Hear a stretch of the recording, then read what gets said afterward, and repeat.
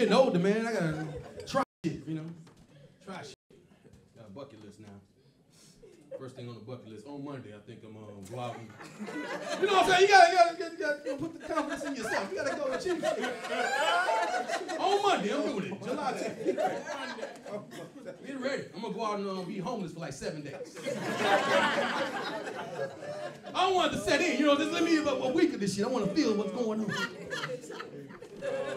Cause some years ago, I'm on the off ramp. I ran into some smooth ass fucking homeless dude, man. He had the coolest voice I ever heard a homeless person speak. He walked up to my window with a bucket of water. He was like, I will gladly clean your windows for some currency. I'm like, whoa, shit! you smooth, man. Get your ass in the car. I'm gonna take you to my family. Took my home to the family. Like, cut this game off. Listen to this guy talk. Like, say it again. Like, what? Say it again. I will gladly clean your windows with some currency. Like, God damn it, come on. We got James Earl Jones, motherfucker. Y'all, y'all ain't appreciate shit. I, I honor the way he talk. You know what I'm saying? You know what I'm saying? He talk real smooth for a homeless person. You know homeless people don't know how to talk that good. You know what I'm talking about, the ones that jump out the bushes on your ass? It's a gas station. In, go south side, 99th, Austin, get it.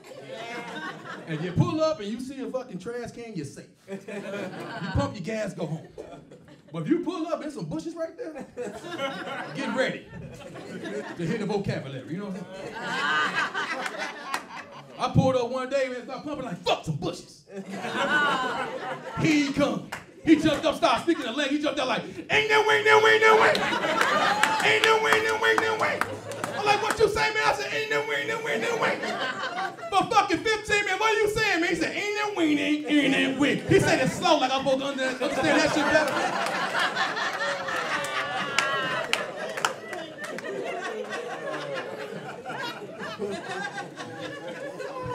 For 30 minutes we talked, he just got fed up like, I'm like, what you saying, man? Fuck it, man, I say it, shit. I say it. Do you have a dollar? Like, what the fuck? Got no How you, how you not fuck you then? Ain't no way he walked away.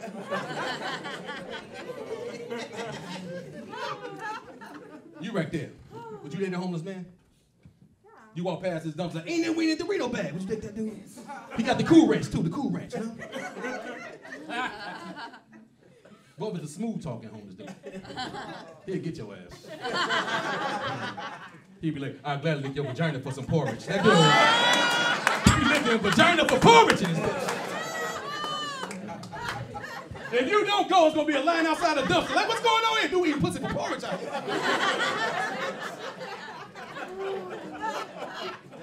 Pussy for porridge. Sound like a porno movie. Pussy for porridge 19. you know, porn's, porn's got more sequels than any movie genre. You know what I'm talking about. Big black titty nipples 35. Sausage for breakfast 52. Fuck the movie. 85. 85 goddamn chapters of fuck the movie.